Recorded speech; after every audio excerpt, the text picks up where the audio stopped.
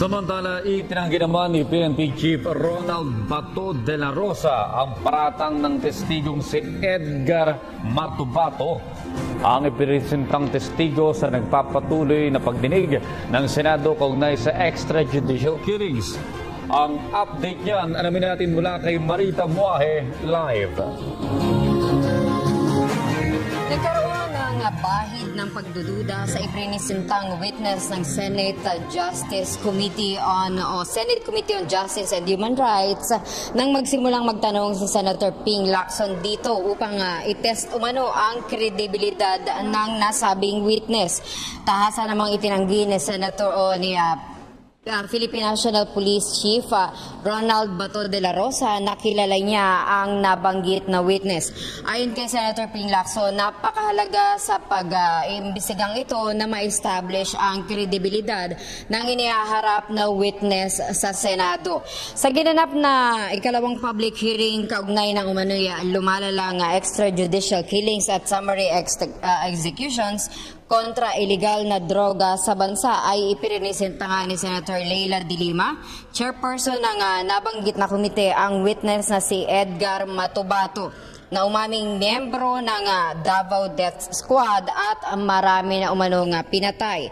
Inisa-isa ni Matubato ang mga pagpatay na ginawa nila sa Davao. Binanggit niya ang ilang mga pangalan na umano ay mga kasama niya sa DDS. Sinabi rin nito na mismong si Pangulong Rodrigo Duterte na mayor ng Davao ng mga panahong iyon ang naguutos sa kanya. Pati na rin ang anak nitong si Paulo Duterte na ngayon ay vice mayor ng Davao. Mismong mga pulis din umano ng Davao ang kasama niya sa grupo.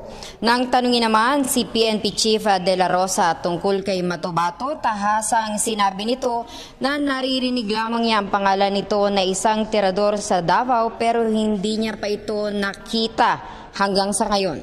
Idinagdag pa ng PNP chief na wala siyang alam na Salik Makdum na isa umanong international terrorist na pinatay sa Davao. Nagbigay din ng ilang mga katanungan sina Senator uh, Angara, gay na rin uh, ang iba pang mga nandoon katulad ni na Senator Tito Soto na tinanong naman ang uh, Commission on Human Rights doon sa mga biktima naman ng mga sinasabing users at pushers na sinasabi niya ay hindi nabibigyan ng pansin ang mga kaso ng mga ito.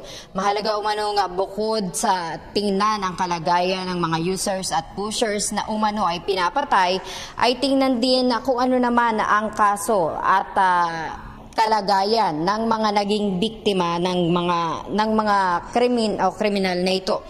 Sinabi rin na ni Senator Drilon kay PNP Chief uh, Ronald De La Rosa na kinakailangang mag-submit ito ng spot report ng mga naganap na mga police operations na kinasasangkutan din ang uh, sinasabing mga extrajudicial killings at summary executions. Sa ngayon patuloy pa rin ang uh, isinasagawang pagdinig. Nagsasalita ngayon at uh, nagtatanong si Senator Alan Cayetano kaya matubato upang uh, malaman malaman kung hanggang saan ang kredibilidad, kredibilidad nito at kung ano ang totoong nalalaman niya tungkol sa kanyang mga ikinikwento. So yan na muna ang ating mga maiulat sa inyo at mula dito sa Senado para sa PTV News. Ako si Marita Muahe. Maraming salamat Marita Muahe. Si Cathy San Gabriel. Subscribe na sa PTV YouTube channel i-click lang po ang subscribe button.